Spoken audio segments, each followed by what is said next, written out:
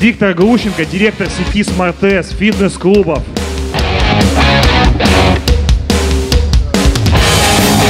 Здравствуйте, здравствуйте все. Сейчас, секундочку. Да, давайте я вам, э, есть у нас 20 минут, я постараюсь за это время рассказать, э, что такое SmartS, как мы относимся к, фра- к слову франшиза в принципе, какие у нас планы и почему вам это может быть интересно. Так, поехали. Вот такой у нас логотип красивый. А название он придумал. Вот. Да, название SmartS, если кто... Ух ты, а как назад? Вот назад. Э, SmartS означает не умная задница, как можно подумать, зная английский, э, а умник на, так сказать, не, не прямой перевод. Умник — это такое несколько провока- провокационное название, но с другой стороны, э, так как мы говорим о спортивных клубах, S, слово S имеет прямое отношение к нашему клубу, потому что все идут качать задницу в спортклубы. Расскажу вам в двух словах о том, как была э, создана эта история Smartess. Э, лет 7-8 назад наши э, отцы-основатели жили в Лондоне некоторое время и для себя открыли там... Давай так, отцы и матери. Отцы и матери, да, Катерина Кузьменко и Дмитрий Дубилет жили в Лондоне и открыли там для себя такой шикарный формат, новый абсолютно, которого не видели до сих пор в Украине. Групповые тренировки в темных залах, громкая музыка, тренеры-мотиваторы с микрофоном. Ты, по сути, попадаешь на вечеринку, а не на обычную тренировку. И они просыпались там в 6 утра с диким желанием наконец-то идти на эту тренировку, потому что помнили об этих эмоциях, которые они там получали. Ты просто заряжен на целый день, как бешеный. Вот, собственно, там примеры нескольких клубов в Лондоне, которые э, для нас стали мотиватором открыть SmartS. Э, Berries, KXU, Rebel, там есть еще Core Collective, их штук 20-25, наверное, в Лондоне. Очень популярная история, потому что 45 минут всего лишь. Ты четко отзанимался, проработал все группы мышц, получил дикий заряд энергии и пошел дальше покорять мир. Расскажу несколько слов о том, как мы начинали э, эту историю. Конечно же, были трудности, потому что до этого ни у кого из нас не было подобного опыта. Единственное, там у Кати э, был опыт строительства, она занималась архитектурой. Вот, ну, это помогло нам, конечно. Естественно, первым э, моментом стало, что мы долго не могли найти помещение. Где-то полгода, наверное, искали по Киеву, тысячу метров квадратных, чтобы было в центре, чтобы подходило под нашу планировку. Ну, в общем, это прям долгая история. Наконец-то нашли отдельно стоящее здание в центре, которое нам подошло. Перерасход бюджета. Понятное дело, всем рекомендую, если вы открываете какое-то свое дело, э, обязательно заложите, ну, как минимум процентов 20-30 э, на перерасход, если это не там микрокофейня на 5 квадратных метров. Как бы вы классно не подошли к моменту просчета бюджета, вы, скорее всего, где-то промахнетесь, и вам надо понимать, что точно где-то надо будет взять еще процентов 30. Выбились из сроков на 4 месяца. Это тоже очень важный момент был, который, естественно, повлиял на перерасход бюджета в том числе. Абсолютно новый формат, э, какие-то залы необычной формы, там еще пришлось сносить стены, добавлять новые. Ну, в общем, непростая история. Также выбились мы из сроков, и перерасход бюджета произошло у нас потому, что у нас обманул подрядчик по мебели. Очень приятный человек. Э, Где-то за месяц до э, открытия клуба А это что, выяснилось... идентификационный номер его? Я сейчас расскажу, да. Я не буду останавливаться вообще на нем на это- в, это- в этой презентации, но он будет присутствовать нативно.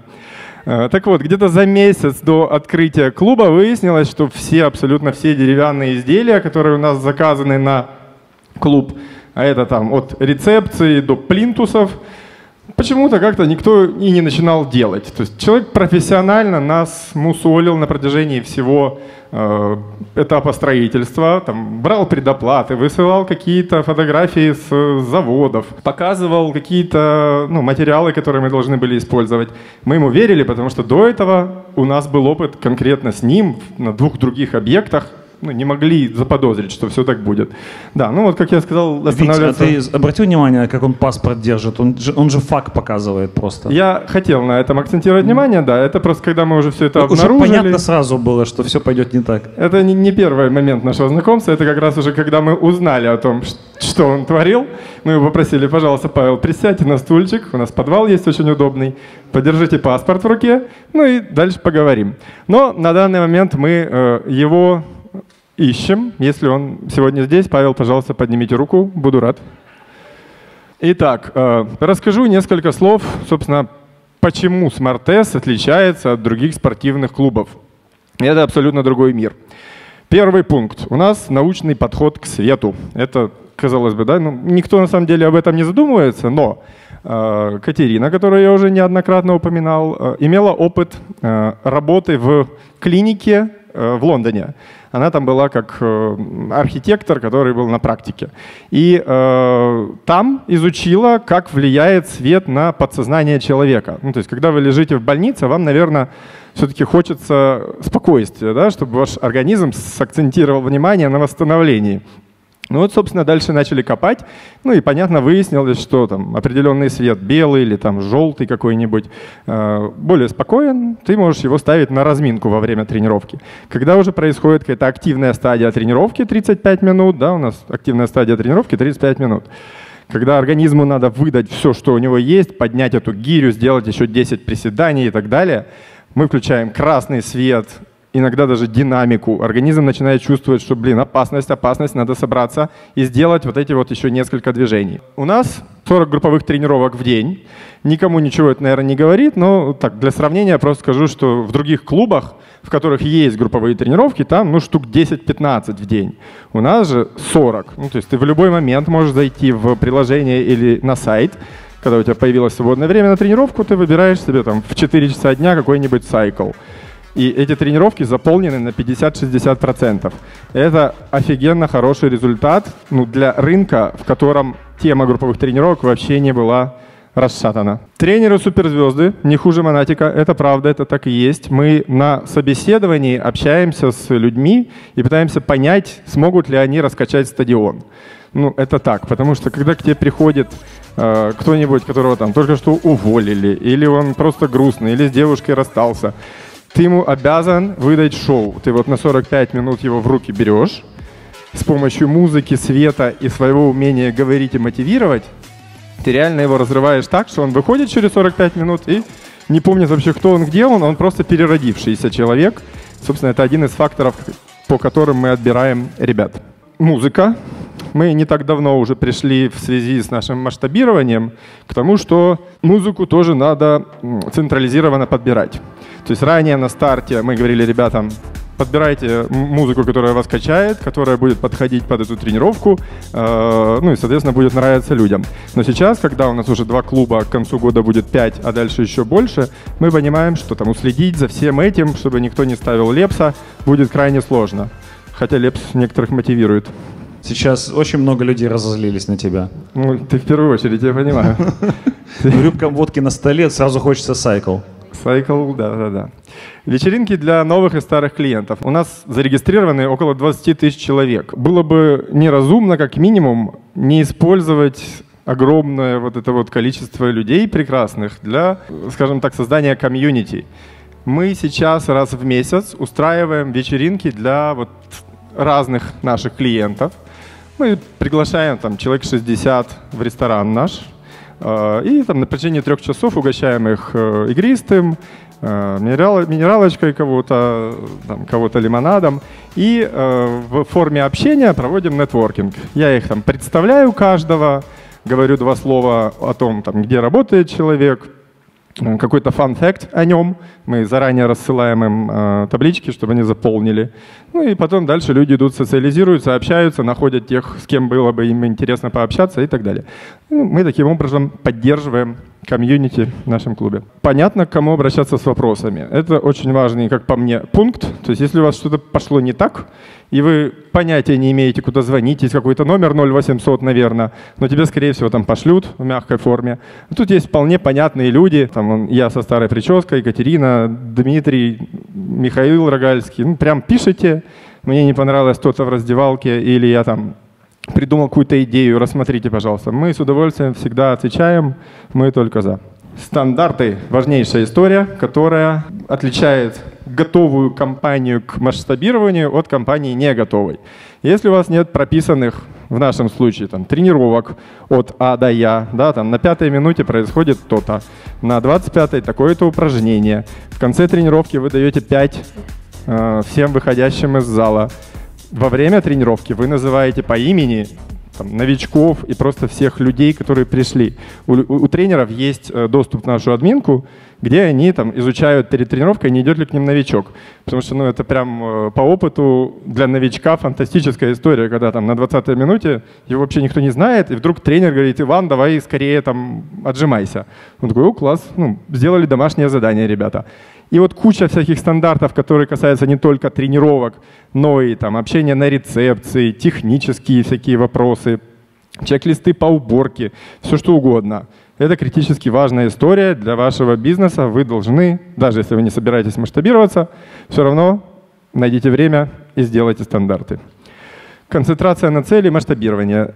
Тут я бы хотел добавить, что да, мы э, концентрируемся на этом. У нас есть большая цель вырасти в огромную сеть спортивных клубов, но и при этом не потерять качество в каждом отдельно взятом клубе. Это как раз достигается путем вышеупомянутых стандартов. Мы умеем работать с данными. Тоже очень важная история. Есть админка, где куча всякой информации по каждому клиенту, по каждой тренировке, по, э, там, не знаю, в 9 утра во вторник Сайкл идет не очень у тренера Андрея Несимоки, например.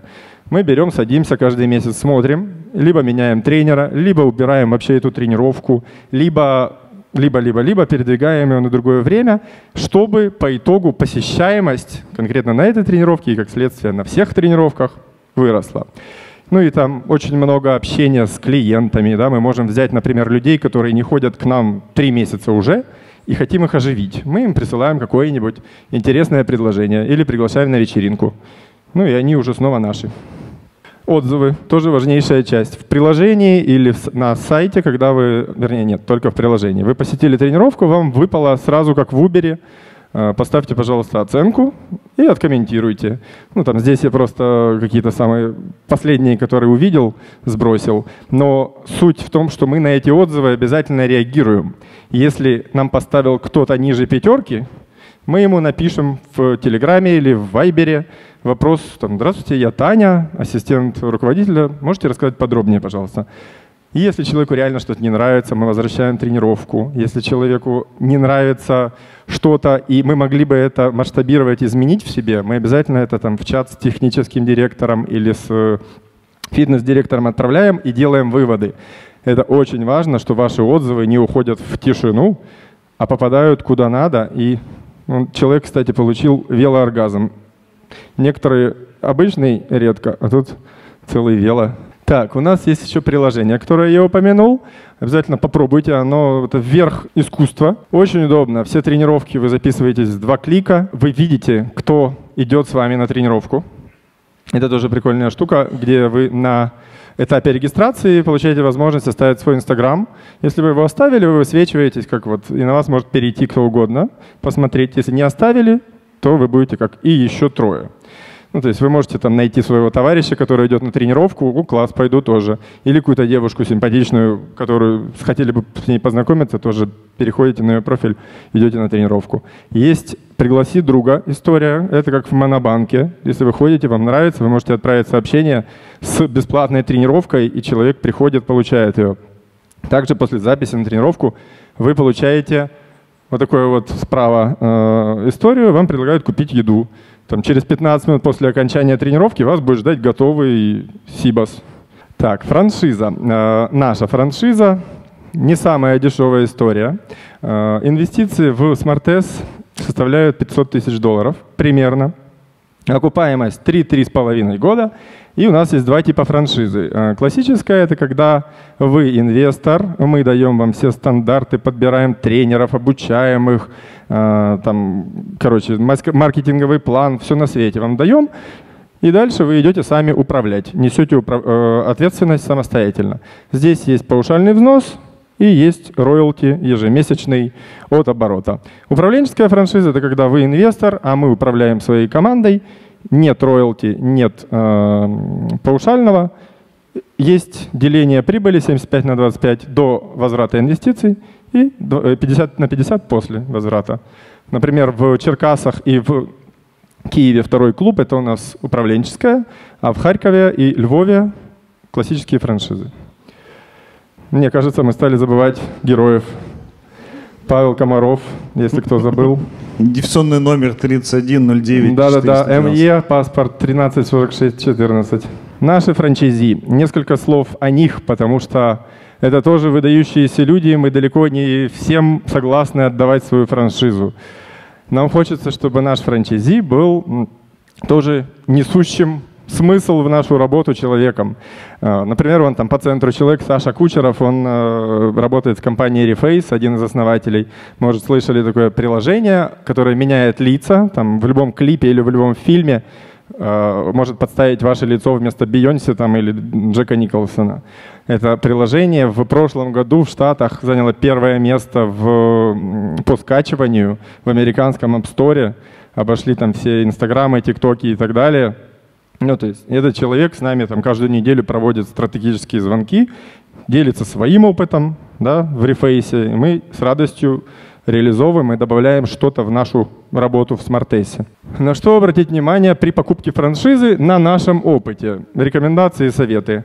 Так, эти, кстати, смайлики не я оставлял, но окей. Лица. Это я. Это ты из по центру. Нет, я с Павлом Комаровым согласовал. Ну, это он слева. А, значит, лица, да, это важно. К кому вы идете за франшизой? Ну, кто... смотри, по центру дубилет, а это вы с Катей. Да, мы красивые все. После недельного рабочего дня. Э, к кому вы пришли за франшизой, это очень важно, потому что там, вы должны доверять этому человеку, должны понимать, э, что он несет репутационные риски. Конкретно в формате смартеса это действительно вот там все лица публичные, э, им точно не хочется опростоволоситься, они готовы частично инвестировать во франшизу, так есть в Черкасах, так есть в Киеве.